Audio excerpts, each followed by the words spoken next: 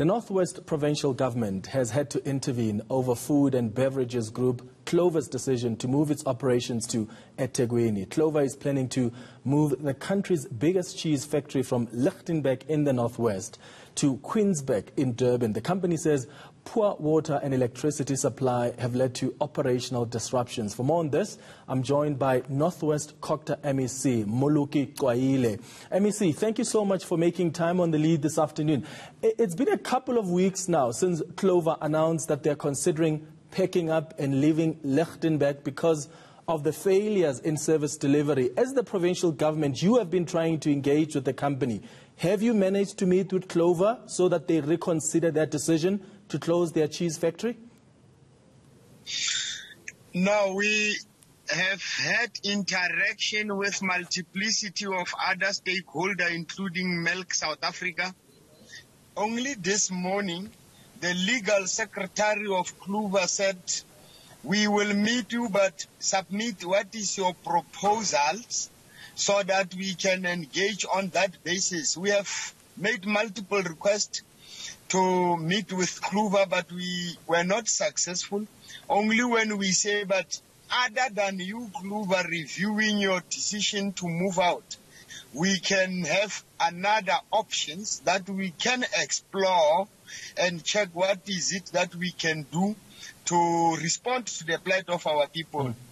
But you must know that uh, as far back as on the 24th of June 2016, Clover made announcement that they intend to establish export plant around KwaZulu-Natal as enter export business. Secondly, Clover uh, is using 350,000 liters a day of milk.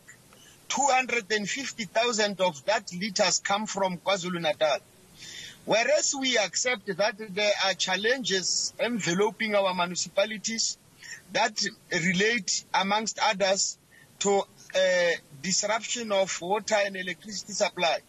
On this matter, we are of the view that it could be just a business decision of Clover more than the challenges as they relate to the electricity supply and water. We have had also interaction uh, with some of the employees there who said, but despite the challenges on and around water and electricity, there hasn't been a scenario where production has been undermined by any of the challenges that we are experiencing.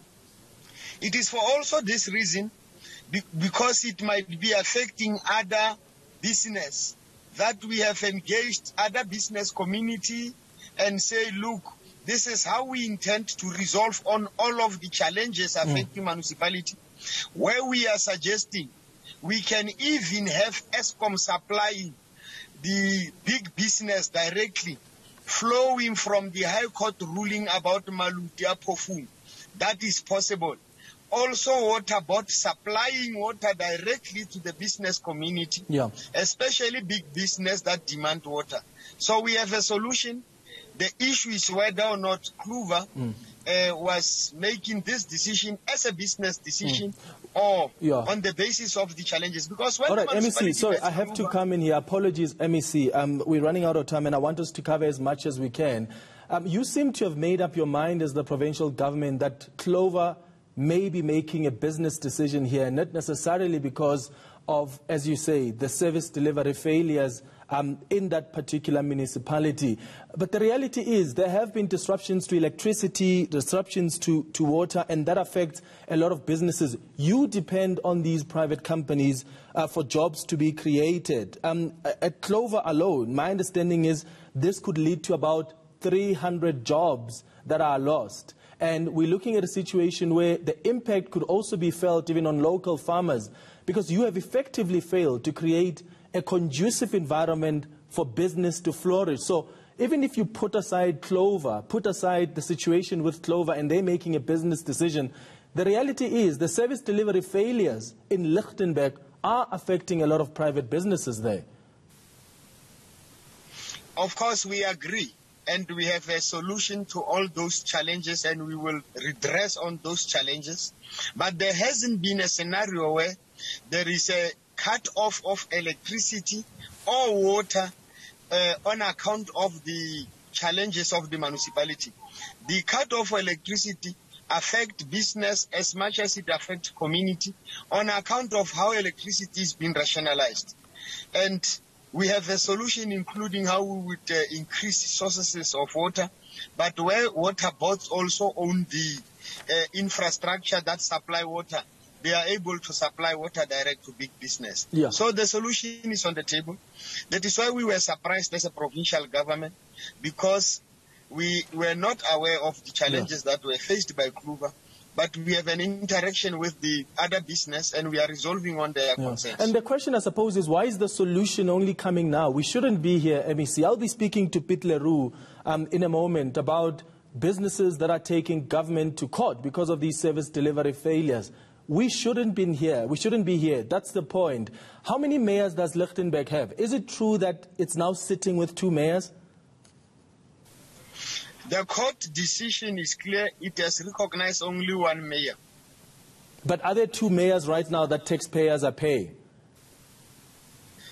No, the, the, the taxpayers are not paying two mayors. As and when this challenge happens, the one would be paid as ordinary councillor, another would be paid as a mayor. But where we are, because their battles are at the court, we recognize what the court says, and the court where we are says only one mayor. Where this is not observed, we understand it as a contempt of court, a reason why we should redress. Nevertheless, we'd be interacting with these municipalities and we are going to decide whether they accept intervention by provincial government or we dissolve the council and have the municipalities uh, presided over by the administrators, both from national and province. All right. Look, thank you so much for your time. I don't understand why, in the first place, there were two mayors in Lichtenburg, and yet the service delivery concerns have just been worsening. Thank you for making time. That's the MEC of COGTA in the Northwest, Mmoloki Cwaile.